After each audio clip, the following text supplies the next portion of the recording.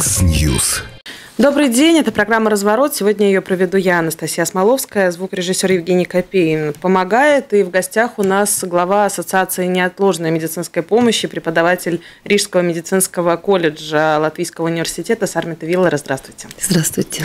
А, ну, начнем, а, начнем с телефона прямого эфира, напомню сразу. 67212 93 9, 67213 93 9 и номер WhatsApp 2306191. Можете писать, если вам так удобнее свои комментарии и вопросы.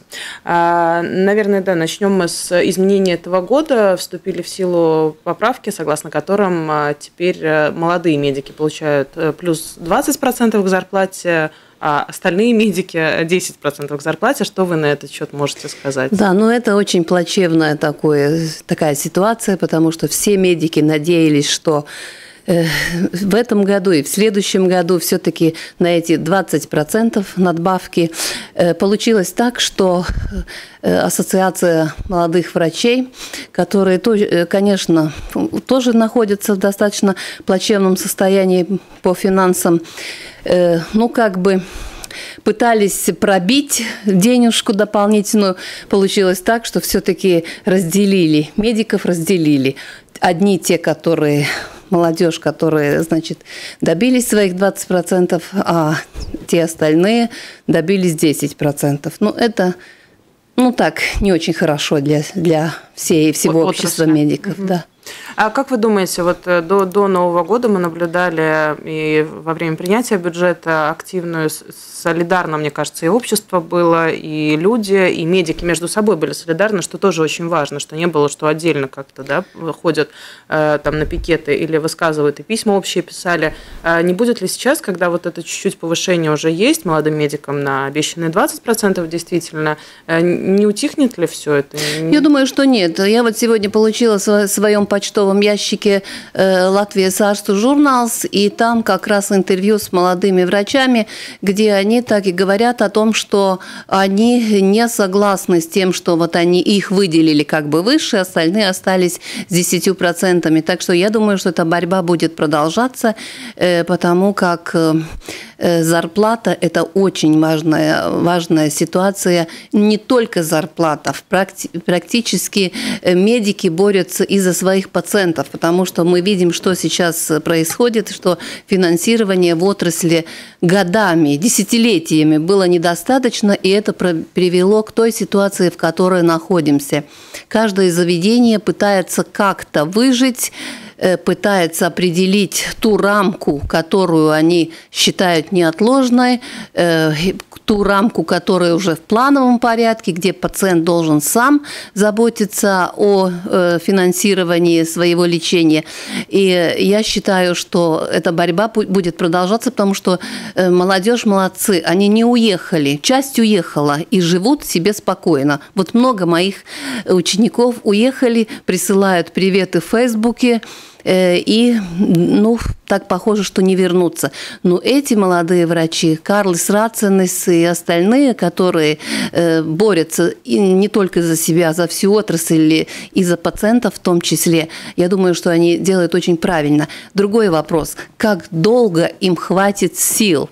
Ну, я считаю, что и Э, президент э, Латвии Ārstu biedrības президента Aizsilniece тоже э, вот старается для всех как-то все-таки и не только о зарплате. Это совсем не вопрос о зарплате, это, это вопрос о финансировании. Зарплата – это, конечно, важно, чтобы удержать медиков, чтобы не было вот этого ухода за рубеж, там, где больше платят, потому как если я общаюсь со своими Э, воспитанниками, с, ну, например, из Финляндии. Вот то... Куда чаще всего уезжают? Скандинавские уезжают страны? в скандинавские страны, в Германию, э, так что уезжают во многие э, страны. И вот 21 февраля я пригласила в гости одного своего бывшего ученика, который закончил тоже колледж, по тем временам еще медшколу медучилище. Он работает в Финляндии, в небольшом городке, парамедиком. Э, он участвует э, в комиссии по развитию неотложной медицины. Он является депутатом местного правления. Его зарплата 3200 евро. Так что мы его очень ждем в гости, чтобы вот такой на таком живом примере э, понять, как это все функционирует и почему совсем не, не так далеко от нас э, все-таки э, медицина развита на другом уровне. Я не хочу сказать, что наша медицина не развита. Она развита, но просто сейчас э, я считаю, что Министерство здравоохранения сверху не видит, как должен быть покрыт весь периметр, чтобы больному не надо было бы искать самому. Если ему отказала неотложная помощь, что это не неотложный случай, то куда он может попасть? То, что мы ему говорим, обращайтесь там к семейному врачу, в приемный покой, там, ģimenes ārstu консультативais tālrunis. Это такая теория. Угу. Мы не знаем, попадет ли он в тот момент и как долго ему придется ждать. И когда он получит эту помощь, не будет ли это уже поздно. И, не обвинят ли потом неотложную помощь, что они да, не помогли, да, и вот, вот там именно. спустя какое-то да. время человека, например, не стало, или какой-то... Или какой-то увечье угу, он получил. Угу. А, ну вот вы э, упомянули, что не покрывает а, вот это вот все, все спектр, но для этого же и проводят, про, проходят все конференции, какие-то комиссии, там, где вот все ступени есть, там и медсестры, и больницы, и врачи, ну, то есть Почему тогда? Да, ну, не слышат или что? Каждый борется за, сво, за, свой, за свой периметр. Вот я побывала в прошлом году, в, в сентябре, на съезде неотложной медицины Европы. Я с удовольствием слушала, как э, работают в других странах, в том числе вот Чехия, э, Дания. И мне очень понравилась профессор из Дании, которая рассказывала, как они э, провели реформу здравоохранения в 2012 году. Реформа длилась там три года. И реформа привела, вот то, что вообще прозвучало с этой трибуны съезда, на пациента обращенное здравоохранение на пациента.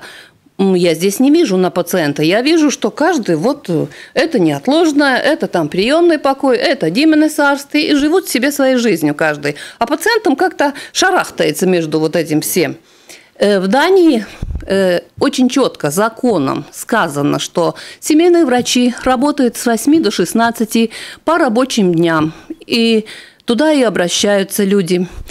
После, после 16 часов телефон 1813 помогает сказать, направить больного, или это едет неотложная помощь, либо он в приемный покой, либо еще какая альтернатива. Э, госпитали из 40 стали 22, но они работают очень эффектно. Э, э-здоровье или э-веселый, наша, которую мы уже 10 лет, по-моему, не можем никак внедрить, очень хорошо работает информация у диспетчера о каждом больном, о его болячках уже с рождения. А, э, и э, обратная связь с больницами. Э, когда больной позвонил в 1813, ему сказали, вот с вашей проблемой э, лучше всего в тот госпиталь, там меньше очередь. Не надо будет ждать 7 часов, да. попадете быстрее. Вот это я понимаю, что это направлено э, целесообразно на пациента. Забота. Забота о пациенте, как ему помочь. Тут я как-то как-то не вижу. Я понимаю, что мы все вот, вот не умираешь, значит туда. Угу. Ну а кто его знает, умираешь, не умираешь. Сегодня не умираешь, завтра умер уже. Ну каждый, каждый получается, что каждый говорит, что это не к нам, но куда обратиться, да. не не говорят. И ответственность тоже по сути никто особо не несет, так что. Нам уже звонят активно, может быть, mm начнем тогда сразу принимать звонки. И вот прекратили звонить. 67212 93 9, 67213 93 9. Здравствуйте. Добрый день, мы вас слушаем. День. А вот, а вот, к сожалению, я пациент скорой помощи, как сказать, постоянный, да, вот. И у меня ничего другого, кроме благодарности, я не испытываю я где-то вот четыре раза, что ли, у страдания был, мне сердце заводили, там аритмия. Вот, и всегда это скоро... Ну, что интересно, может, мне так повезло, все молодые приезжают, красивые, молодые и такие приятные ребята и девушки. Вот, поэтому я вот звоню и хочу сказать, что если я еще могу звонить еще живой, то в значительной части благодаря вот вашим э, ученикам, коллегам. Спасибо большое. Спасибо. Да, спасибо. Тоже важно слышать слова. Э, добрые слова всегда важно слышать, да, и я считаю, что большинство наших, нашей молодежи очень, э, очень хорошая, очень заботливая, очень профессиональная. Вот сейчас как раз происходит смена поколений, когда те, которые отработали 25 лет, уходят в пенсию по выслуге, и наши молодые коллеги перенимают эстафету. Конечно, они молодые, красивые, иногда у них не хватает опыта, но опыт приходит с годами, так что это, это просто дело времени. И если мы обеспечим им нормальную жизнь, доброжелательно к ним будем относиться, то, я думаю, они будут работать. И, ну, так же, как мы, вот, например, я отработала 30 лет на неотложной помощи, они тоже будут работать до э, пенсии по выслуге лет, пока об этом сейчас они не думают. Ну, вот э, как раз по поводу молодых специалистов, именно э, неотложная помощь, мне кажется, это такая кузница э, опыта, да? да, потому что, ну, практически все молодые врачи проходят там да, через да, да. неотложную помощь, и вот у вас очень молодой такой коллектив, да, в, в неотложной помощи, и Э, насколько вам, вот вы как преподаватель, когда вы рассказываете, да, вы, может быть, заряжаете своим опытом, но при этом они вот у вас не спрашивают, ну вот э, это же вот такое отношение к нам, нам там немного платят, нас там, ну, не знаю, как-то не воспринимают всерьез. Как вот вы и преподаете, и в это же время, чтобы не разочаровать их в этой профессии? Вы знаете, те, которые приходят к нам учиться, они уже э, понимают, куда они приходят, потому что у нас есть так называемый карьерас, денос, когда мы приходим и в школы, и в Кипсалу, и рассказываем э, а, из своего опыта. Они также читают интернет, они знают, что зарплаты небольшие, но они действительно такие а, алтруисты, которые, вот которым очень нравится то, что они делают. И я могу сказать, почему я осталась так долго на скорой помощи. Когда я пришла на скорую помощь, туда нельзя было так вот просто прийти. Я пришла по блату великому, это было 88 год, 10 октября октября. Меня привел мой коллега, который там уже работал. И вот мне повезло, меня туда приняли. И э, коллеги, у которых я стажировалась, говорили мне, ну не оставайся здесь, отработай немножко, пока дети там подрастут э, сутками, чтобы работать, чтобы было выходные, и потом уходи. Но это так не получилось, потому что вот эта работа, она так тебя засасывает, и если твой темперамент отвечает тому, что быстро сделать, быстро результат иметь. Э, э, ну, после дежурства закрыть дверь и уйти. Тебе не надо ничего относить домой, карточки писать, угу. еще что-то такое, что осталось. Ты это должен все сделать, решение принять. Правильное, неправильное ты принял, но это уже будет потом. Но, в принципе, э, вот то, что работу нельзя взять домой или оставить на второй день, те, которых темперамент вот такой, они там и остаются. И это очень быстро мы видим уже. У нас очень длинные практики, у нас три месяца они проходят большую практику. Тогда уже тоже они понимают, хотим мы туда или все-таки пойдем на в амбулаторную службу, mm-hmm. где так спокойненько все будет. Так что э, а, это обучение сейчас устроено так, чтобы они на третьем курсе уже могли понять, Иду я на четвертый курс, специализируюсь на неотложную помощь угу. или амбулаторную службу. Так что всем хорошо. В общем, все уже понимают в какой-то, да. какой момент. Э, хотелось бы еще поговорить о том, э, как эм, э, был вот не так давно призыв в армию, и туда как раз-таки призывали женщин и э, ну, медиков в том числе, да, то есть на таким, возможно, там не служить-служить, а ну вот бухгалтерами, юристами и медиками в том числе. Вам известны случаи, когда, например, уходят, потому что там э, да. ну, обещают какие-то лучшие... Да. И лучшие там условия. уже очень давно э, работают мои тоже бывшие учени ученицы с, тоже с с первого медучилища или с первого, да, ну, когда это было еще медучилище, они участвовали в миссиях, они очень довольны. Конечно, девушки туда пошли из-за зарплаты, которая побольше, потому что, ну, я не думаю, что мечта какой-нибудь женщины с автоматом на плече где-то там быть в миссии. Но они это все смогли сделать, и все свои ну, навыки улучшили, вот видели то, что мы тут в, цивили, в цивильной жизни не видим. Э, и сейчас тоже я знаю, что э, ну, вот такой как бы призыв имеется, и что все-таки молодежь уходит. Я, конечно, хотела бы всей душой, чтобы они оставились в службе неотложной помощи, но так по-человечески? По-человечески, да. конечно, я думаю, что э, это достаточно правильно, что если э, они, правда, работают и там, и там, потому что им разрешают там э, совмещать, совмещать да. Но э, это еще одно такое направление, на которое мы тоже надеемся, что э, мы специализи... можем специализовать уже на этапе обучения. Вот в этой военной медицине там все-таки это среднее звено, врачи врачами, они там в РСУ или в ЛУ, угу. а мы, значит, вот это среднее звено специализировать делать для э, э латвийской, для угу. латвийской армии. А, надевайте наушники, перед перерывом еще звонок примем. Добрый день. А, здравствуйте.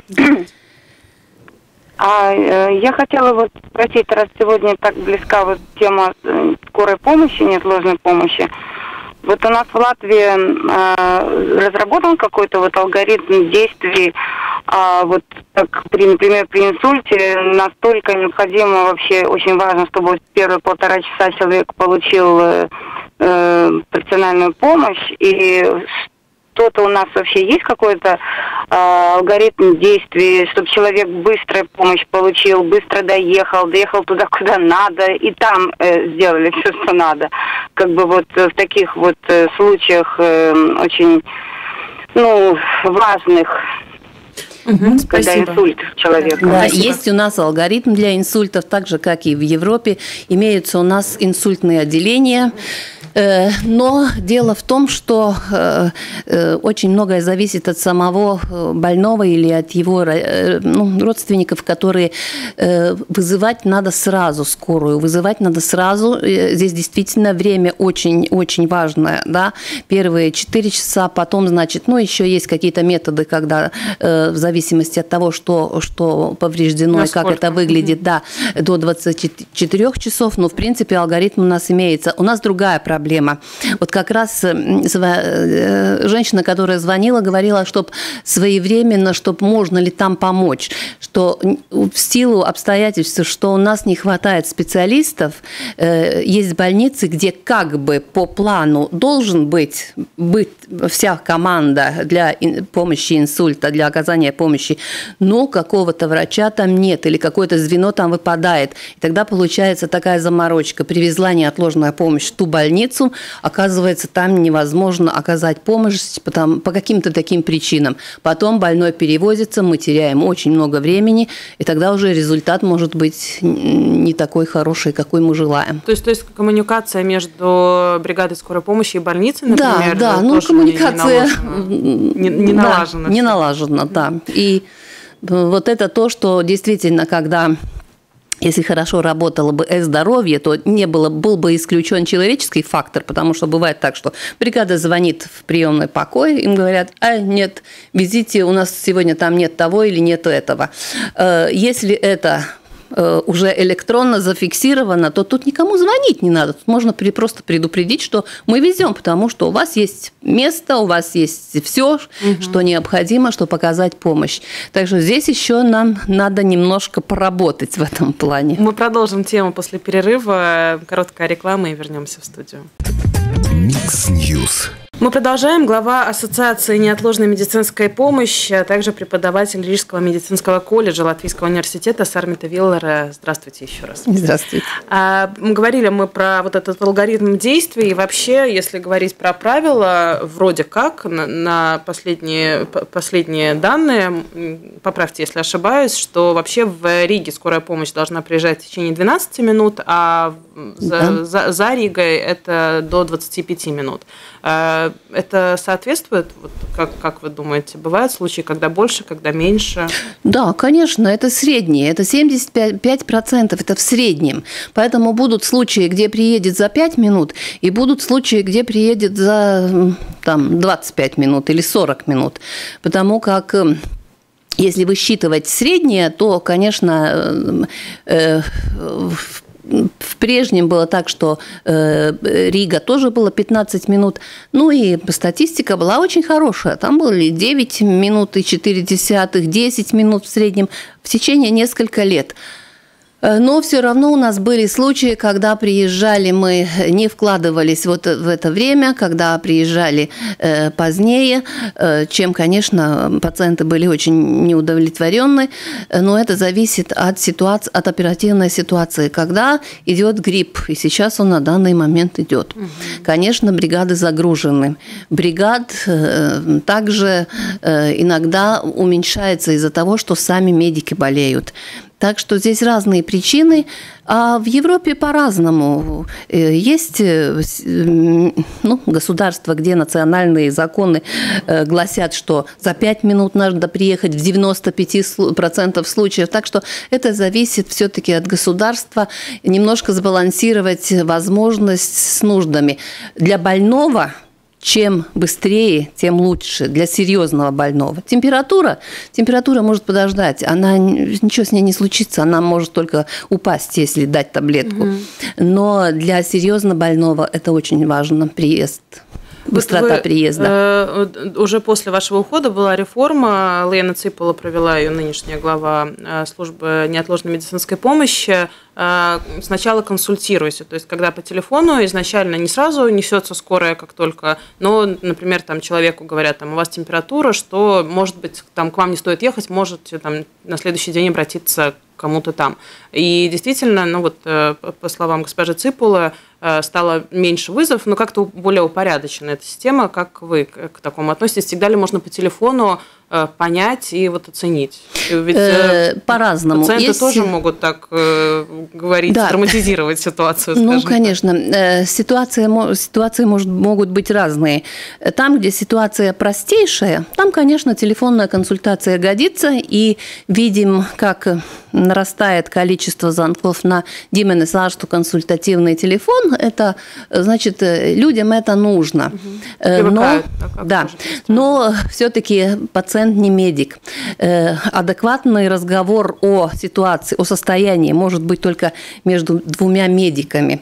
Э, есть ситуации, когда все-таки больной не оценивает, и он не должен, не должен это сделать, не оценивает своего состояния, и тут уже все-таки надо, э, ну, скажем так, понимать ту границу, когда, до какой можно консультировать и отказывать. Меня вот этот термин «отказать скоро» скорую помощь, э, отказать неотложную помощь, меня просто убивает, потому что я сама работала старшим врачом много лет, и э, как пришел э, очередной новый министр, так и надо было уменьшать количество вызовов. И, конечно, мы это делали.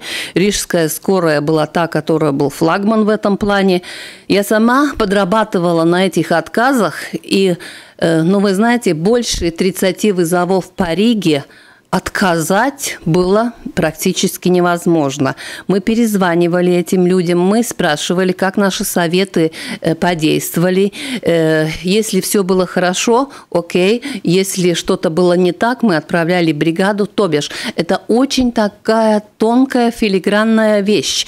Я не согласна с тем, что можно просто отказать и оставить без внимания. Это, это уже чревато криминалом, потому mm. что, э, ну, если человек может получить альтернативу сразу после вот этого отказа, это тогда все хорошо. Если такой системы нет, то просто отказать, я считаю, это недопустимо. У нас какая-то личная ответственность должна быть. Это, вот именно. Если про конкретный случай говорить, вы тоже его комментировали в сентябре этого года. Журналист ну, был сбит или упал, сейчас уже разные, разные есть версии. Журналист Игорь Мейден, и вы комментировали, говоря, что не, не совсем вовремя был доставлен в стационар, он впал в кому, из которой, слава богу, потом вышел. А, но вот вы этот случай, говоря про него, что вы можете сказать? Ну, я скажу, что вот этот были? случай как раз меня тоже очень взволновал, потому что здесь я скажу, что ломать не строить. Можно, конечно, постулировать, что теперь мы уменьшим количество вызовов любым способом. Ну, как нарастет количество там потерь боевых, об этом мы говорить не будем, мы просто вот количество, статистику уменьшим и все. Э, по тем э, старым, плохим, которых сейчас очень критикуют, временам, у нас было четко указано, что если пациент находится не в своем месте жительства, то бишь в общественном месте, на улице, в полиции, еще где-то. Э, и он получил травму, даже если небольшую, или он получил, э, попал в состояние, когда он не может объяснить, что с ним случилось, что был какой-то эпизод, который нам не ясен. Таких больных без разговоров мы госпитализировали. Госпитализировали для того, чтобы э, обследовать, потому что компьютерная томография, магнитный резонанс и остальные все консультации никто не придумал просто так. И здесь как раз, к сожалению, получился тот же случай, когда его надо было госпитализировать, провести обследование, консультации – и, ну, я не хочу прогнозировать, но я очень думаю, что результат был бы получше. Потому что гематомы внутричерепные – это такая вещь, которая образовывается постепенно. В первый момент после приезда скорой э, симптомов может не быть. Э, я читала в литературе, что симптомы могут нарастать даже в течение месяца, о чем я рассказываю и своим студентов, угу. чтобы они не попали в ситуацию, когда они приезжают на третий, второй, третий день после травмы и думают, что тут ничего быть не может. Нет, это совсем не так. А как вы считаете, ну, вернее, уже на вашем опыте базируясь, э, нет такого, я просто сама с этим сталкивалась, что когда вызывается скорая ночью в какой-то или на концерт, или в какой-то клуб, ну, в общем, в место, где, как правило, выпивают и веселятся, и все, все что этому сопутствует, э, медики так, ну, не то чтобы пренебрежительно, но как бы они думают, ну, там, ну, что, ну, ну брезгливо, ну, как бы, брезгливо вот относятся. Вот. Да, я считаю, что это это существует? Это существует, но это все-таки э, еще малоопытность такая, потому что те коллеги, которые уже по дороге 20 и больше лет отработали, они, э, да, никому не нравится э, пациент в состоянии алкогольного опьянения. Поэтому я стала педиатром в свое время, что дети обычно... Обычно трезвые, как правило. Обычно трезвые, да. Э, но мы не должны пациентов разделять на такие категории. Там бездомный, там социально незащищенный, э, выпивший. Ну, такого быть не должно, потому что нигде так не делают. Ни в Европе, ни в Америке так не делается. Я думаю, что просто мы немножко как-то, и особенно в последнее время, э, когда я вот это все читаю, у меня создается какое-то странное впечатление, что за последние два года ну, скоро едет только к алкоголикам, только к тем бездомным, которые на улице находятся. Но это же не так. Это э, 400 тысяч вызовов – это совсем не так. Да, бывают случаи, и я думаю, что вот этих э, гипосоциала в Риге больше, чем э, в пределах угу. республики. Но это тоже надо решать. И я тоже не считаю, что вот там в парке, где они там тусуются, э, наши бездомные товарищи, что туда надо ехать обязательно скорой помощи. Ну, тогда надо придумать, кто это делает. Это мобильная бригада по социальным вопросам, да. или это Красный Крест, ну я там фантазирую. Угу. Ну, в принципе, кто-то должен этим заниматься. Да. Оставить просто так нельзя. Нет. Надевайте наушники, примем еще звонок. Здравствуйте. Добрый день. Добрый день. Сергей Рига. Вы как-то вскользь коснулись военной медицины, и в связи с этим у меня возник вопрос. А, особенно с учетом того, что все жители Латвии принимают участие, те, которые не отказались в программе по трансплантологии. А, просто э, как бы латвийские политики, они постоянно разжигают у нас войну с соседями. И в связи с этим вопрос. А, под подготовлены как-то наши медицинские службы к этому вопросу? Информируют ли население как-то по поводу этого? Или у нас получится так, что латвийские военные, так же как и на Украине, просто будут возвращаться э, родственникам, как кожаные мешки, опустошенные, потрошенные? Спасибо, всего доброго. А по поводу этого, по поводу чего? По поводу ну, органов, как, я готов, понимаю. Нас, ну, нет, на, не нас, так. готовят, нас готовят в к этом войне. плане на нет у меня. Но... Наденьте еще а. наушники, у нас продолжается. Э, то есть вы имеете в виду, что если будет война, готовы ли к этому наши медики? В этом вопрос. Отключился наш радиослушатель. Угу, да. Э, ну, я не совсем поняла, может быть, вы... Да, но я тоже не совсем поняла, но я думаю, что это тогда уже насчет опустошенных военных, которые возвращаются. Да, без органов. Э, да, угу. ну это так, э, скажем, э, очень сильно было сказано, может быть, у меня нет такой информации, такого опыта, и поскольку мы на данный момент живем в мирной стране, я считаю, что думать об этом надо, наверное, но на данный момент у нас не идут дискуссии. Мы думаем о том, чтобы научить наших медиков, как действовать в обстоятельствах, там ролл один, ролл два, ролл три, которые э, наши милитар, милитарные службы лучше знают, чем угу. А, я вот по поводу трансплантации органов, у меня тоже был вопрос, но раз уж мы затронули эту тему, вот за последние несколько месяцев уже два, уже два раза и в преддверии Нового года а, из а, латвийских больниц два раза вертолетом отправляли органы в Литву. И вообще, если говорить про трансплантацию органов, насколько у нас вот эта культура, ну, так очень, наверное, сказано неприятно, наследие органов, мы знаем, что можно завещать, сказать, что да, ну, да. я согласен, чтобы мои органы там передавали, э, больше с таких людей, меньше становится вы знаете, догоспитальная служба этим не занимается, потому что если мы приезжаем на место происшествия, там наступила смерть до приезда, больной никуда, ну, умерший уже никуда не отвозится. Э, если мы отвозим в больницу его, то он еще жив или в состоянии там клинической смерти. Дальше уже это решается в больнице, потому как у нас нет таких возможностей, у нас нет консилиума, у нас нет нужных обследований, которые должны э, производиться до того, как э, констатировать, значит, э, смерть мозга или, или смерть пациента. И поэтому когда-то, некоторое время назад э, возник этот вопрос, но он потом опять затих.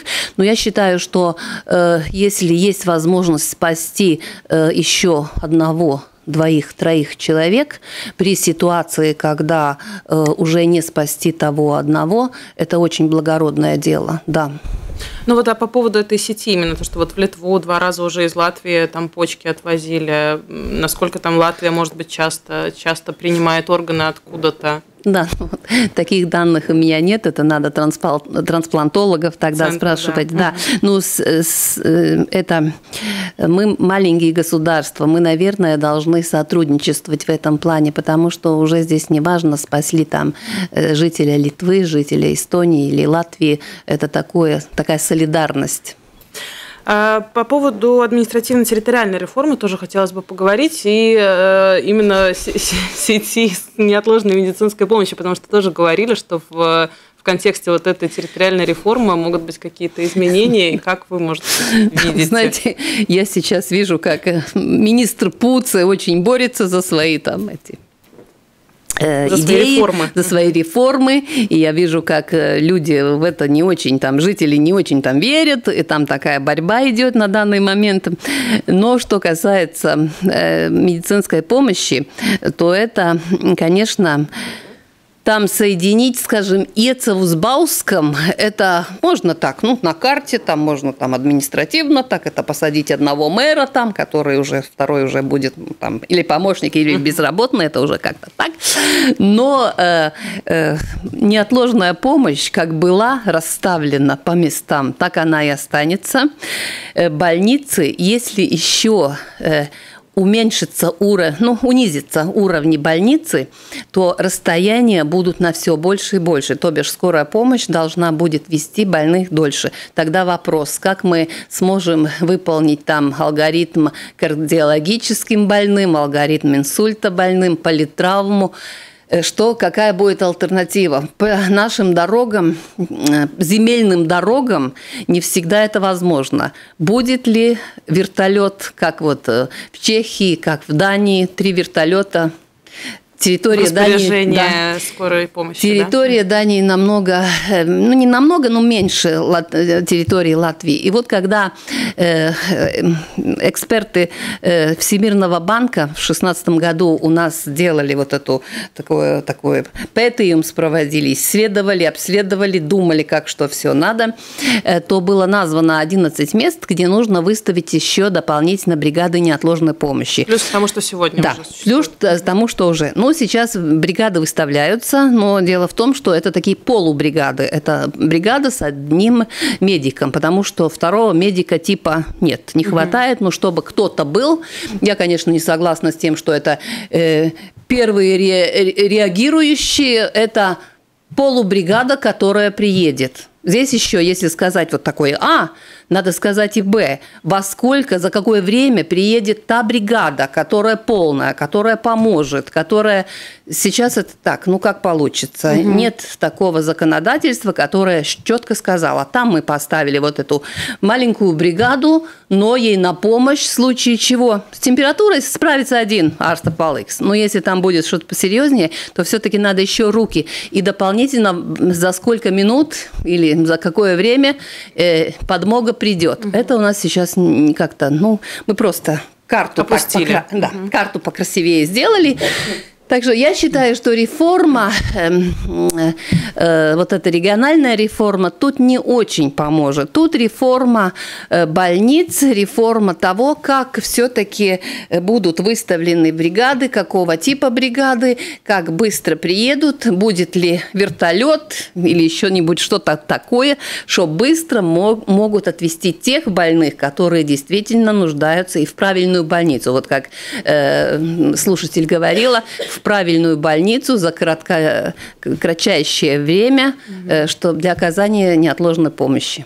То есть количество больниц уменьшать нельзя, которое сегодня существует, это минимальное количество. Э, их можно только в одном случае, если они не выполняют свой уровень тогда им э, толку нет, потому что если больница стоит и считается, что туда можно вести инсультного больного, но помощи там нет адекватной, то не нужна такая больница. Это бутафория просто. Тогда нужна альтернатива, как мы этого больного отвозим туда, где ему можно оказать помощь. Я смотрела в Фейсбуке, мои коллеги застряли по колеса где-то там далеко в Земсвятке, и их вытаскивал Вугд. Ну, плохие дороги у нас. Это когда мы едем по Виа Балтика, это одно дело, а когда они едут на хутора, это уже другое дело. Так что тут тоже думать надо. У меня когда-то был конкурс на место транспортного, управляющего транспортным департаментом, и один товарищ пришел и говорил, вам же надо вездеходы.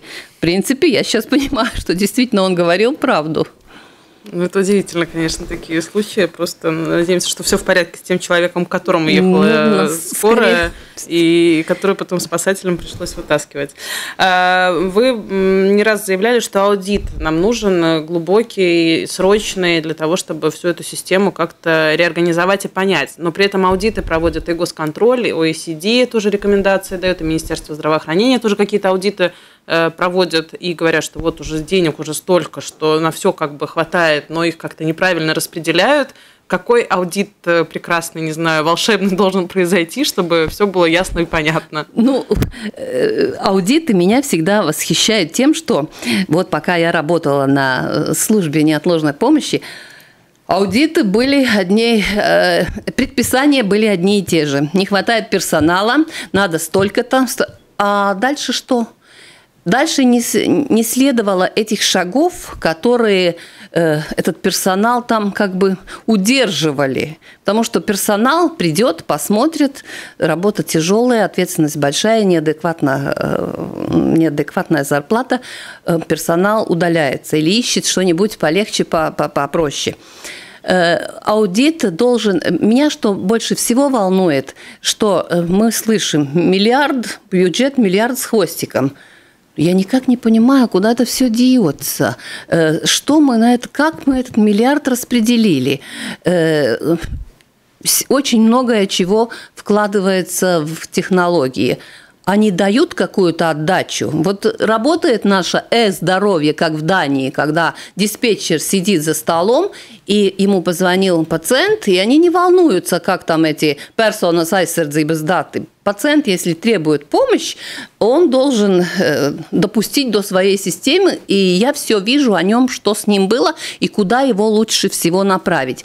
Э, так что это одно, одна вещь. Здоровье работает всюду уже. Наши э, коллеги эстонцы работают, о, о литовцах не знаю, но эстонцы тоже точно работают с хорошо. них убрали вроде как да. эту всю Еще что мне кажется, что у нас совершенно, ну может я ошибаюсь, что министерство – это это та институция, которая со своей колокольни должна видеть, как работают все э, подчиненные структуры. Если э, директор службы неотложной помощи принял какое-то решение, отказывать там, скажем, не знаю, одну треть, то что будет дальше? Куда этот поток переместится? Если госконтроль сказала, что 42 административные территории без семейного врача, то как эти люди получают помощь? Куда они? Звонят 113, им там не отказывают, э, еще куда-то обращаются. Что? Как человек получает помощь? И вот не просто пускать самотек, Министр Винкела сколько там сидит? Год, год сейчас? Почти год. 23-го Вот что-то не вижу, не слышу, иногда только, но тоже так, по-маленькому. Ни, ни, никаких таких серьезных решений. Я считаю, что после того поста, который был в прошлую субботу, где госпожа Килблока в Фейсбуке писала о случае, когда умер человек в расцвете лет, уже в понедельник все должны были сидеть в кабинете у госпожи Винкелы и получать по, по шее, по заслугам. Произошло это? Не знаю. Так что я считаю, что министерство – это дирижер, это самый главный, который говорит, ага, мне принесли госконтроль, принесла данные, я реагирую. Мне в Фейсбуке написать серийные случаи, когда что-то идет не так. И это очень серьезный э, сигнал нашим политикам. Вызвали, распределили задания. Эти Анализ. пошли работать. Сейчас я не понимаю, что-то там мы там сидим, есть мы там, нет мы там.